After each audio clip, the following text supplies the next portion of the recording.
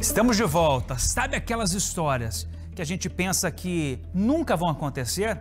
Pois é, elas acontecem. Em Toledo, um raio atingiu uma casa e deixou marcas pela parede, destruiu um televisor e até causou o início de um incêndio. Nossa equipe foi até lá e conversou com a família que passou esse baita susto.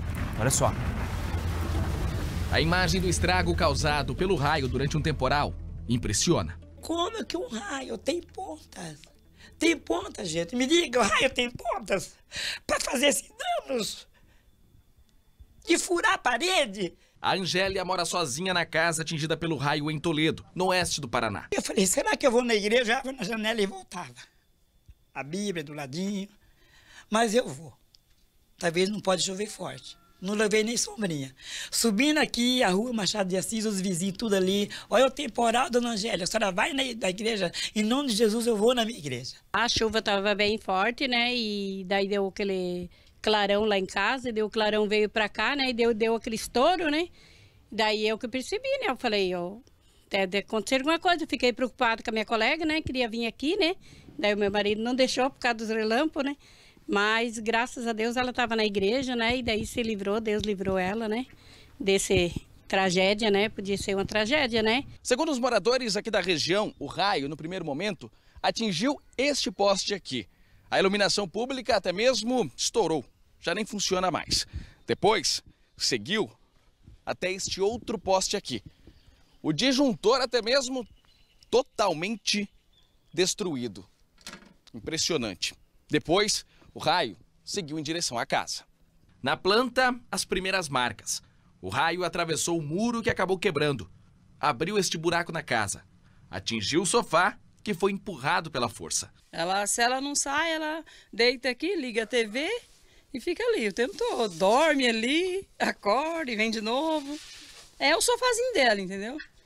E graças a Deus, naquele momento, né, que o raio veio, jogou o sofá longe, a mãe não estava em casa. O raio ainda destruiu o aparelho de televisão e este outro equipamento.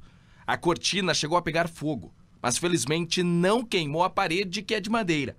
E provavelmente saiu por este outro buraco, que também se abriu na parede. Cheguei aqui na porta, pisando, puro cacos. Puro cacos. Falei, não, tá estranho. Agachei, olhei, tá estranho. Meu Deus, o que está acontecendo aqui na minha casa?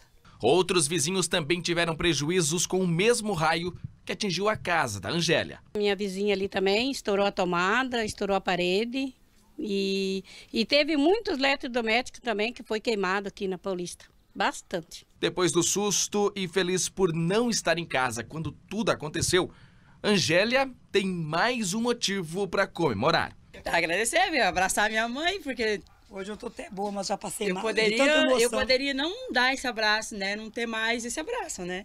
Mas, né, mãe?